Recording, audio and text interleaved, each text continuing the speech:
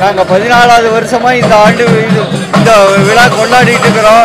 இந்த விளக்கு பூஜை எல்லாருமே நல்லா நடத்தி கொடுத்ததுக்கு உங்களுக்கு ரொம்ப நன்றி தெரிவித்துக் கொள்கிறோம்.